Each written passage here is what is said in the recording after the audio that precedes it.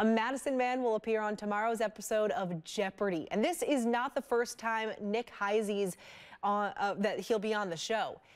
He says he competed on Jeopardy in February of last year and won a game. His experience on tomorrow's episode was different than the last time because this time, last time, Jeopardy was still going through COVID-19 protocols.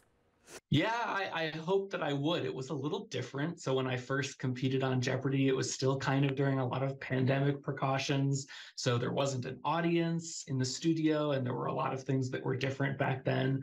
Um, so some things were familiar, and some things felt totally new to me. Um, getting to to do the show in front of a live studio audience and. You can watch Jeopardy during the smartest hour of television tomorrow at 4:30 p.m.